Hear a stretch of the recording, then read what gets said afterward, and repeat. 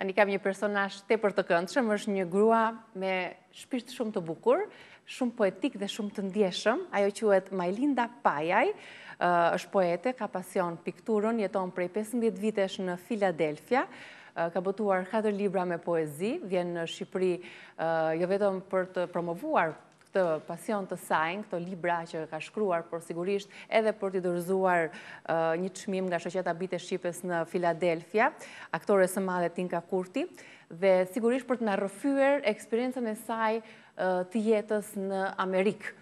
Për të gjithë nuk është e thjeshtë, është e vështirë emigracioni. Emigracioni është shpresë, emigracioni është mall, edhe sigurisht aty kupton me të vërtetë se sa e do vendin. Mirë se erdhe, e dashur Majlinda, kënaqësi që të kam këtu. Kënaqësia është e imja. 15 vite që jeton në Filadelfia, apo jo? Po, ja. Prej andej kemi njohur personazhe të ndryshëm, fushave të ndryshme, një komunitet shumë solid që bëhen, po, bashkë vazhdimisht për të ruajtur gjuhën, për të ruajtur traditat, kulturën e vendit. Ju si e gjeni veten mes këtij komuniteti fillimisht? Oh, është shumë, shumë... Vendi jonë na mungon shumë. Dhe ne mundohemi, jemi shumë shqiptarë, kemi krijuar atë shoqatën tonë, dhe mundohemi me shpirt sepse na mungon shumë Shqipëria. Të jesh në emigracion nuk është e lehtë.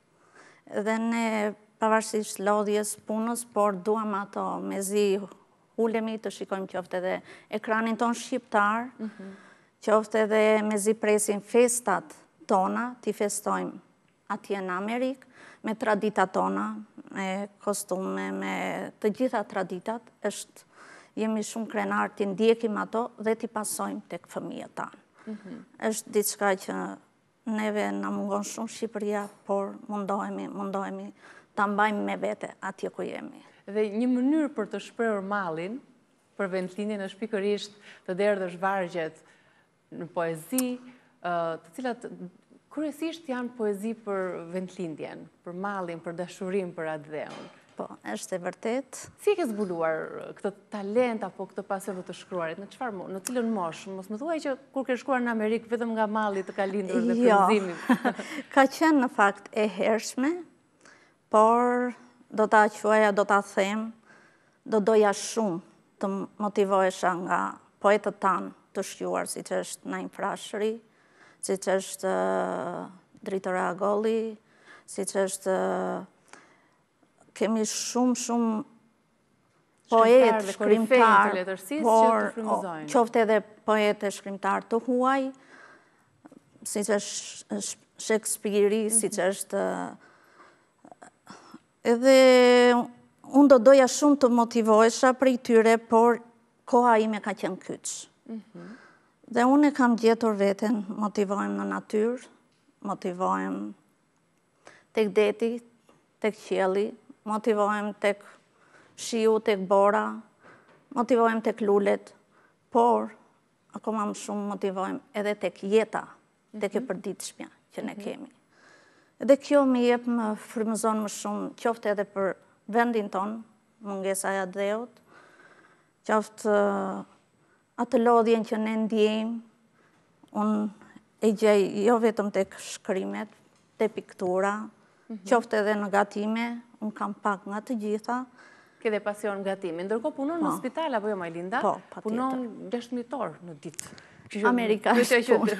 Amerika është punë, është vërtet. 16 orë në ditë, të gjesh dhe kohën për të shkruar, për të botuar libra edhe për të pikturuar, Është patjetër që është e vështirë. është jo? shumë e vështirë, por uh, unë gjej mbështetjen time tek komuniteti shqiptar, por e gjej mbështetjen time dhe aty ku punoj, te kolegët e punës. Edhe kolegët e punës po, në spital të kanë sponsorizuar, të kanë paguar uh, një prej librave për ta po, Dallgë në stuhi, apo jo, për ta po, përkthyer atë në anglisht. Në anglisht, po, e donin me patjetër. Mhm. Edhe kanë qenë ata që shtytja më e madhe, Edhe pse jo, janë akoma shtytja më e madhe por ajo është plan i të ardhmes për të botuar një roman në anglisht. Mhm. Unë jam shumë e dhënë pas poezive, po pse jo do ta provoj edhe në roman. Do kalosh edhe në zhanër tjetër. Mhm. është diçka që ti përjeton, qoftë edhe në punë, qoftë edhe në shpi, në shoqëri, është ajo që ti përjeton edhe kërkon me ngulm. Unë Disa histori që lexova dhe i pashë, kishin të bënin dhe me histori të përditshmërisë, po. histori të pacientëve me të cilët ti po. përballesh, çdo ditë në punën tënde dhe dhimbja e tyre, apo historitë e tyre, pse jo të kanë frymëzuar për të shkruar vargje dhe për t'i kthyer ato në rreshta të bukura frymëzimi? Ne japim, por dhe marrim shumë. Kjo është më e rëndësishmja për mua. Atë që unë përjetoj te pacientët, është një jetë e dytë për mua. Mhm. është edhe do të thuash ka raste që edhe të prek historia e pacientit, çfarëdo që të jetë, por mua më jep shumë më duket një jetë e dytë për mua. Unë marr shumë aty. Edhe aty edhe frymëzohem. Ti merr shumë Majlinda, por kolegët e tu dhe ata që ne kemi folur, thonë që ti jep shumë. Çfarë çfarë kënaqësie merr ti? Pse ndihmon kaq shumë njerëz? Je gjithmonë aty kur ata kanë nevojë, kur komuniteti shqiptar ka nevojë, kur çdo njeri që ka nevojë për ty, ti je aty për ta ndihmuar. Kjo është e vërtetë sepse kur unë shikoj që vjen një pacient shqiptar, mua më duket sikur ka ardhur Shqipëria. Edhe është ajo zemra që të bën të veprosh. Unë thashë aty ku punoj, ajo është familja ime e dytë. Respekti që kanë krijuar edhe më mbështesin shumë. Edhe veprojnë, vetëm t'i shikosh kur veprojnë shumë shpejt, thonë, o, janë të Majlindës, o, janë nga vendi i Majlindës, edhe mhm. e bëjnë me shumë kënaqësi. Por, kënaqësia ime më e madhe është të ndihmoj vendin tim.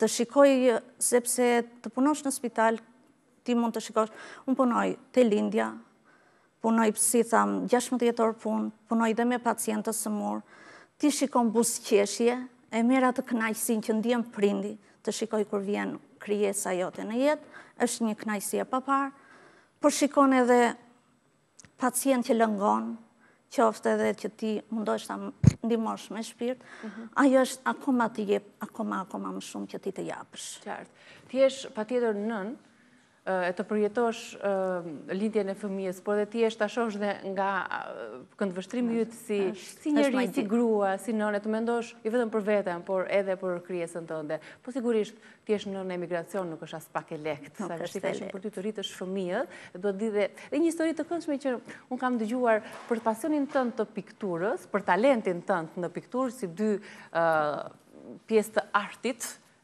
ti e ke zbuluar pikërisht rastësisht nga mësuesja e djalit tënd, apo jo? Po. Si është kjo histori, më trego pak? Djali ishte në klasën e dytë, në fillore, unë isha ende në Shqipëri. Edhe kërkonte vizatimin djali me ndihmën time, po ishin ato rosat e vogla, ato. Mësueses i ra menjëherë në sy që nuk ishte vizatimi i Albionit, Albioni është djali im i madh. Mhm. Dhe kërkoi të fliste me mua, i pëlqeu jashtë mase dhe më kërkoi për kabinetin e klasës, por jo vetëm mësuesja e djalit, por dhe mësuesja e klasës tjetër. Mhm. Ajo ishte një pasion që Ashtu si dhe shkrimet, pasion që rrinte brenda meje për shumë vite.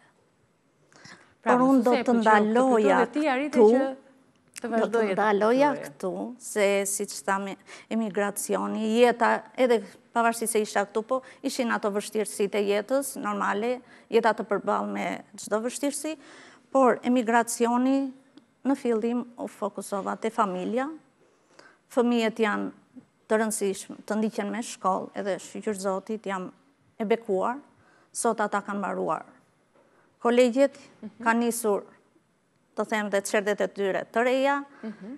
janë në rrugën e drejtë, dhe unë do të theksoja, do falenderoja shumë, shumë nga zemra bashkëshortin tim. Ai ka qenë përkrahja e parë në çdo ëndërr timen që ishte kyç të them. Që ti të zhvilloje, ti ishe e lirë për të shkruar, e lirë për të pikturuar. Ai ka qenë mbështetja ime e parë pavarësisht rrugve të jetës edhe fëmijët, por ai më tha, çfarë ke dëshirë të bësh bëje. Ndiqe ëndrrën tënde. Ne të kemi, ne na ke në krah, pavarësisht, ti do ta bësh, bëje. se edhe e shikon lodhjen, mundimin, por më jep atë, kur më shikon të lodhur të ashu, edhe kur them për pikturën, rri në orët e vona, vjen shumë vonë, po të shtyn ajo, unë dua ta mbaroj, mhm. dua ta mbaroj nesër. A ndodh që mes pikturës edhe poezisë, atë që nuk e shpreh dot tek poezia, e shpreh po, tek ngjyra, tek telajo, ose e anasjelltas, duke qenë se të dyja janë brenda të njëjtit. Është e vërtetë, unë kërkoj aty te piktura të jap ngjyrat, nga ajo edhe fokusohem shumë, rri me orë të zgjatura, sepse kërkoj atë që përjeton siç e kërkon në vargje, unë e kërkoj ta nxjerr dhe tek piktura. Mhm. Pavarësisht se piktura shfaq ngjyrat, shfaq një portret, por aty mund të gjejë, kushdo mund të gjejë veten. Kush i lexon i pari ose e para poezitë e tua, Melinda? Po, personi i parë që lexon shkrimet e mia është bashkëshorti im. Mhm. Ai më thotë ma sepse unë marr atë, ka një të vërtetë, i pëlqen apo jo ta thotë në sy, mhm. por ai thotë, lëre ta lexoj atje tek faqja kur e poston, por ka një gjë, kur nuk bën like. Mhm. Edhe ai thotë, Më ke më pyet të parin mua, unë jam like i parë. Nuk ka rëndësi ta bëj like-un aty në publik.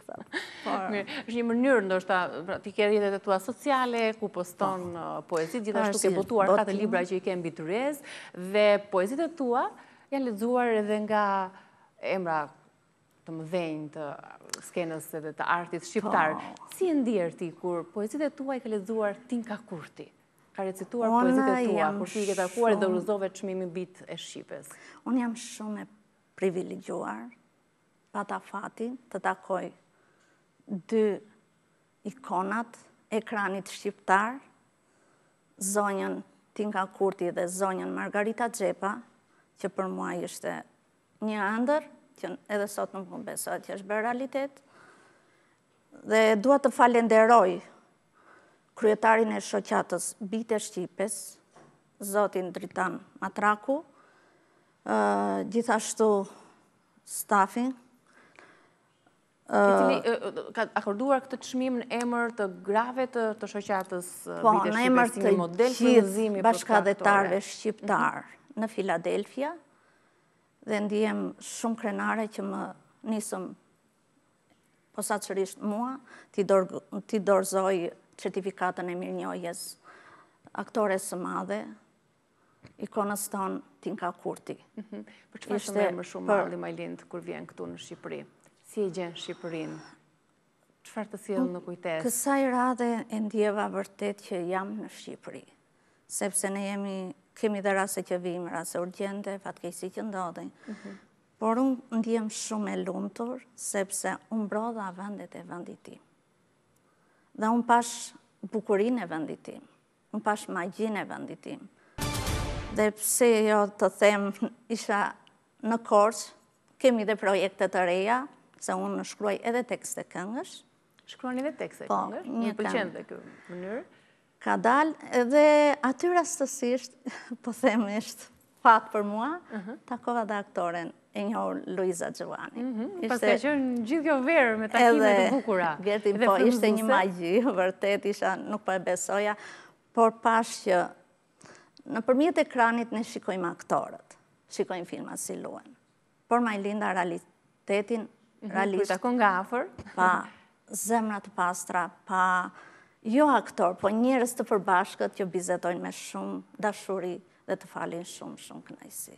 Ishte për mua, ishte shumë e veçantë. Dhe për ne ishte shumë kënaqësi që të patëm këtu në studio, për të na rrëfyer mbi pasionet dhe dëshirat e tua.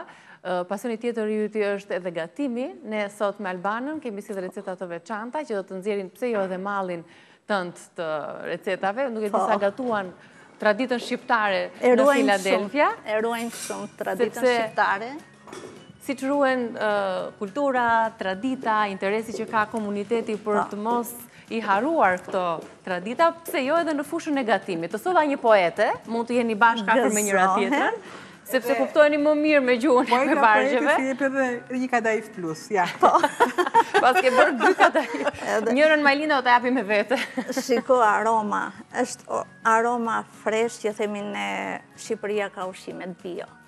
Edhe kjo mua më mungon. Mhm, Unë vërtet gatuaj... Na e thonë shpesh në fakt. Po, gatuaj ushqimet tona tradicionale, i gatuaj. Ato E adhuroj gatimin, por këtë aromë që unë ndjeva këtu është ajo që më mungon. Merre një copë aromë e fute në xhep, dhe aty kur po, shkosh tregon se si gatuajnë shqiptarët. E na ndjekin shumë nga komuniteti shqiptar aty. Në Filadelfia dhe në shtete të tjera kemi patur mundësi të njohim dhe të mësojmë më shumë re thjetës të tyra aty mallit që e ndiejmë, e ndiejmë që në dridhjen e buzës, në vështrimin, mënyrën se si shprehen për vendlindjen, ashtu sikundër ju shpreheni edhe përmes poezive tuaja apo përmes pikturës. Të falënderoj që erdhe mund të provosh byrekun, është ky byreku si kishte emrin edhe një herë? Tikushi. Tikushi. Tikushi, ja, emri i parë që po e dëgjoj, edhe pse jo do t'i marr recetën, sepse po, dua ta. Tikushi kadaifi gjithkushi, se i ka të gjitha.